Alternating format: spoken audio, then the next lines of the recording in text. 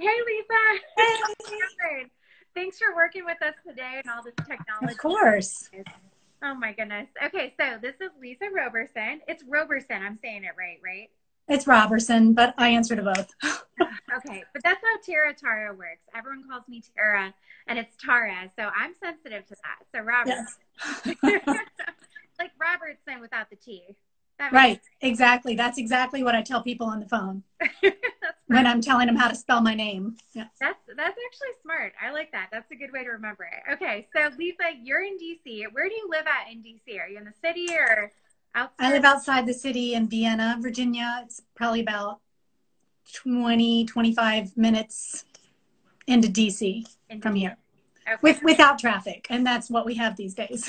yeah, right. I was gonna say someone just posted a picture of LA traffic with like no cars. I'm like, what a strange situation. Nice.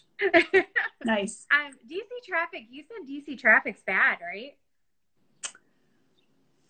Uh, it probably depends on where you live and um, where you're going and what time. Okay. I, I typically try to work my schedule so that I'm not right in the thick of it. Okay. Okay. Makes sense. I like but that. you can't always do that. So you just allow extra time. Work with, right? Okay. And how long have you been with Mohawk in DC? Uh, a long time. 22 years 22 years. That's amazing. Okay you should be proud of that. I don't think people get to say they stayed at a company that long. That's a good thing lisa. Oh I, I really love it. Um, it's just nobody's expecting that when when they ask that question. I love that. Well and i remember my first job out of school i was um, i used to be a designer and i was working with uh, a client and I remember they said something about having been there for like 30 years. And I was thinking, yeah, people don't do that anymore. And here I am. I love it. awesome. Well, we were talking a little bit about the DC market. I've loved asking people. Uh, we've been doing a lot of calls across the country, and it's been interesting to hear each market. So you yeah. said DC. How's the how's the DC market doing in all this? I mean, fingers crossed, but right now it feels feels like they're just plowing along, um, you know, dealing with our, our new limitations. But I mean, I'm still getting a lot of actual orders. I mean, in addition to sample requests and everything, but actual orders coming through. Okay. I think people are taking advantage of the of the offices being empty to do the renovations.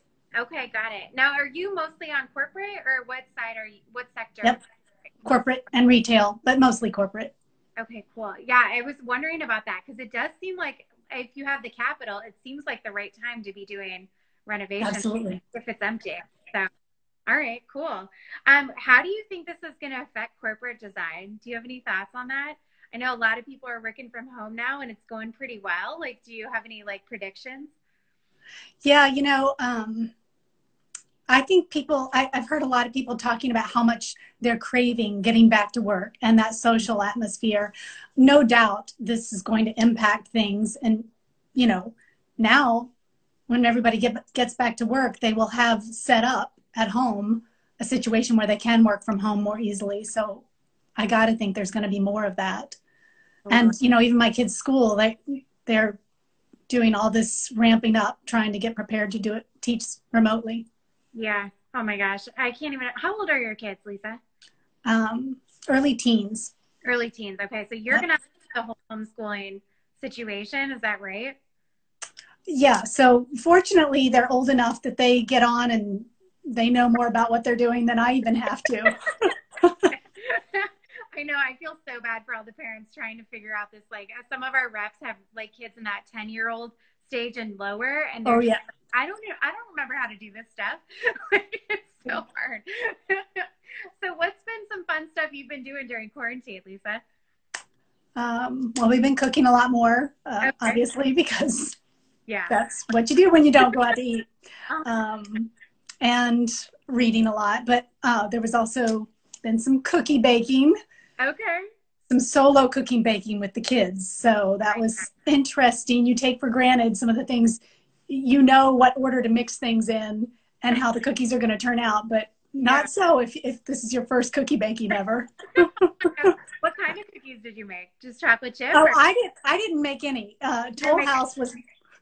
I no Toll House. You know, okay. classic. the first that. batch look didn't look like classic Toll House, but the second batch much more so. By the time they had some practice, that's awesome. okay, cool. And then you said like what what's a book or show that you've been reading that you've been really into? So I I tend to like intense uh, TV shows. So Ozark has been Ozark. a favorite with me lately. Okay, yeah. got it. Yeah, like a lot of people have been recommending that, and I just I'm trying to get into it, but I don't know. I think I need more of the lighter, fluffier stuff that ends really like nicely at the end every time. I like some of the crime shows, but I like the crime shows that have that like formula. Like, oh, there's murder. We're gonna figure it out, and then at the end, it's like they all hug as a team. Like, I kind of like those where I can predict it. You know what I mean? so I have to ask: Have you seen Tiger King? Yes. Oh my gosh, yes for sure. I feel like Netflix could not have timed the release of that docu- like documentary right. than they did. Yeah. Right. Totally. What did you think about it? So I didn't watch it, and I can't bring myself to watch it. Um, I don't know. Everybody's talking about it, but I yeah. see the I saw I watched the preview. Yeah. And I saw somebody else's analogy to it, like yeah. Honey Boo Boo. and I'm like, yes, it seems just like that kind of train wreck, and I don't think I can what's really interesting about it is they did it as a documentary, right? But the producers like discover all this crazy stuff as it goes. So it really is one of those things that you get like sucked into because it just keeps getting weirder. Definitely, if you like intense drama, it's definitely not intense drama. It's like very much on the weird side. but it's also kind of fascinating it's happening present day because you just don't feel like it can be a present day thing. And it's interesting, Lisa. Maybe stay away, but if you get really bored, maybe that's where you go.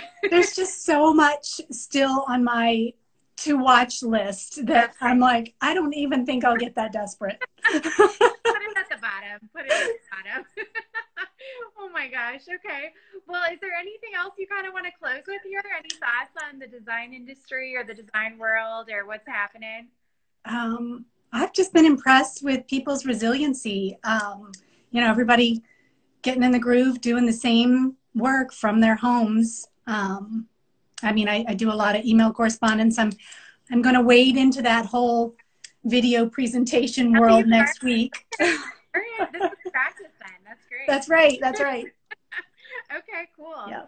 All right, so just impressed with the resiliency. I think that's so true. It's like amazing what we can all accomplish very quickly. I feel like everything switched really rapidly, so that's pretty cool. Do you guys have a lot of webinars going on or anything like that at Mohawk? Yes, um, every every Wednesday at noon, I think, or one. I can't remember.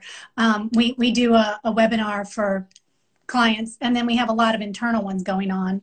But the the others are all accredited for uh, IDCEC, AIA, as well as a couple of them are USGBC, GB, GCBI accredited. Wow. Okay, cool. A lot of people have been saying they've been wanting to do stuff like that just to keep it. Now's yep. the time, I guess, right? yep, yep, yep. You can, um, if for anybody that's watching and wants to go check them out, our Mohawk group web uh, Facebook page has all of them and links to sign up if you'd oh, like. Okay, head to the Facebook group. I didn't even know. I got to check that out. I don't know if I follow you guys on Facebook. I don't even go on Facebook. I do Instagram and um, LinkedIn, but yeah, I knew to go there for that, so right. I, I pulled okay. it off and sent it to people. I'm trying to work on my Facebook game, my LinkedIn game, and then TikTok. Lisa, I don't know anything about this TikTok situation. on TikTok, are they doing TikToks? Dance things? I, I'm not there. maybe that'll be my next step after I do some video, some um, video yeah. chat presentations. There you go. Maybe we can learn TikTok together because there you go. Me, so that'll be our next our next goal. awesome. Well, thanks for coming on, Lisa. I really appreciate it. I'm glad you're. Thank you. You're wonderful. Okay, great to see you. Bye. See you. Bye bye.